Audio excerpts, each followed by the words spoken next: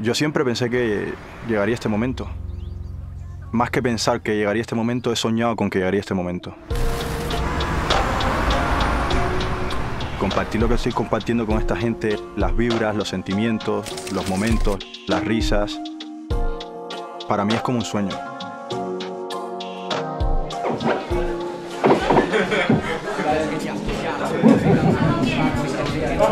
Ni me ha calmado el hambre, desde cómo me he visto hasta cómo comportarme.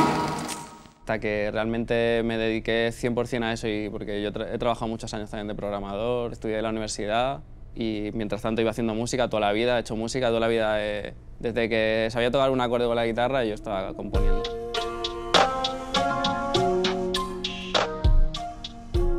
Apetece producir, escribir, cantar, que lo hagáis, pero sin la presión de tener que vivir de eso y hacer lo que a ti te sale de dentro, porque sí, ya verás a dónde te lleva.